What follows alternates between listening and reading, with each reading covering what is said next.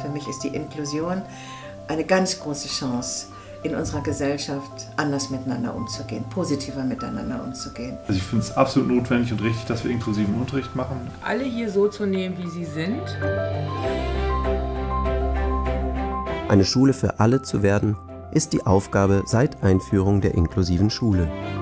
Inklusion gehört jetzt zum Schulalltag und stellt Schulen vor eine große Herausforderung.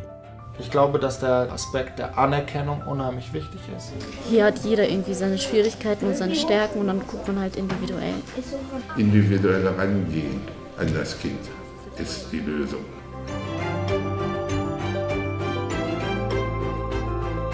Jedes Kind ist anders, wir sind anders, wir sind alle anders. Das zeigt sich, indem wir den Respekt leben. Also jeder gehört mit allem, was er hat, einfach dazu. Und das ist so selbstverständlich und das finde ich toll. Jeder Schüler, jeder Mensch Stärken in unterschiedlichen Bereichen hat. Ich glaube, dass für stärkere Schüler äh, die Arbeit mit schwächeren Schülern eine super Gelegenheit ist, ähm, Wissen umzuwälzen und weiter zu vermitteln.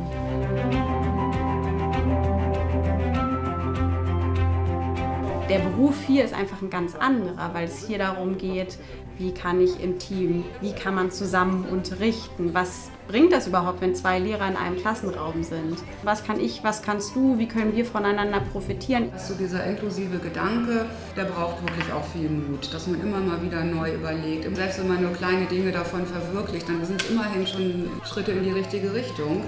Teilhabe für alle muss ermöglicht sein. Der Schlüssel dazu ist halt Kommunikation und viel miteinander reden.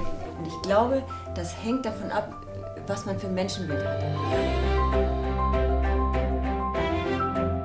Also für mich war das als Lehrerin überhaupt kein, kein Problem, mir vorzustellen, dass Inklusion ein ganz großer Erfolg werden kann. Ich habe ihn mir gewünscht, diesen Schritt.